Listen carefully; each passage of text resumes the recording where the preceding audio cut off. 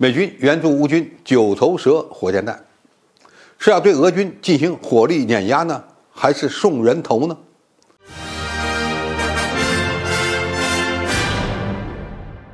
观众朋友，大家好，我是付建少。在乌克兰军队即将展开大反攻之前，美国宣布了最新的对乌克兰的军事援助，其中最令人关注的是九头蛇精确打击火箭弹。美国和乌克兰方面都认为，精确打击火箭弹通过简易改装，就可以为乌军提供近距离火力支援。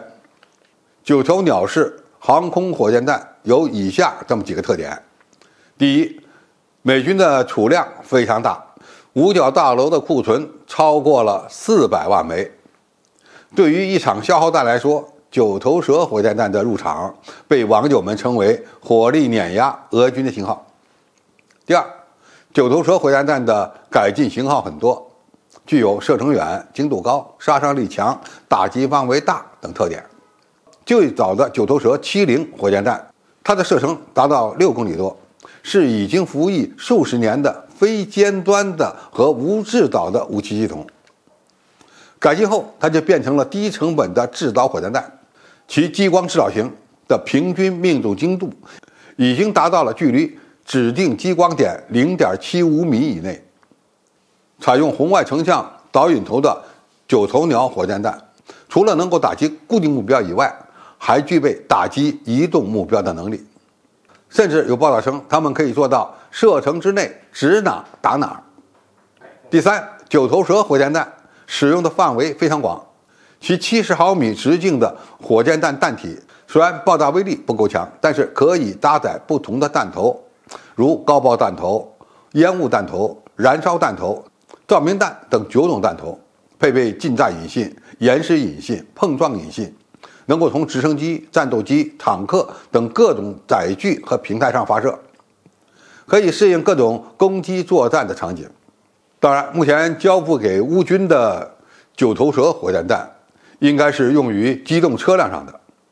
这种改进型的九头蛇火箭弹，在车辆上安装了发射器，以及一套光电探测系统和激光制导组件。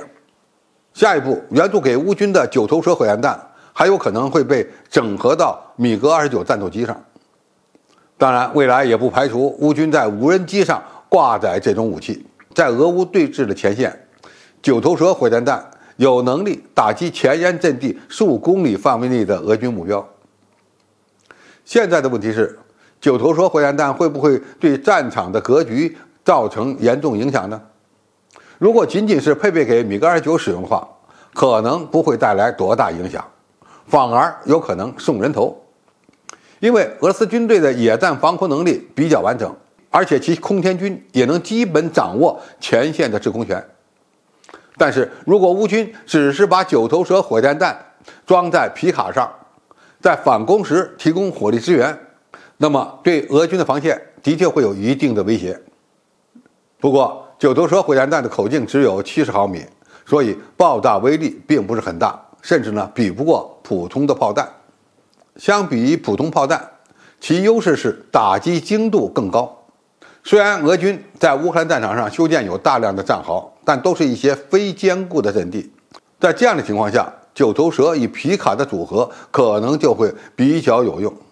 火箭弹在乌克兰战场上的使用，在俄军这边只是用于打击面目标，而乌克兰这边呢，几乎都是精确打击武器。原来乌军配备有海马斯远程火箭炮，现在呢又有了九头蛇近程精确制导火箭炮。虽然不敢说他们就能够改变一线战场的游戏规则，但是好歹让乌军又拿到了一种可以长期消耗的火力支援利器。俄乌冲突是一场消耗战，又是一场以堑壕和城市巷战为主的战争。乌军有海马斯远程火箭炮打击俄军的后勤补给线。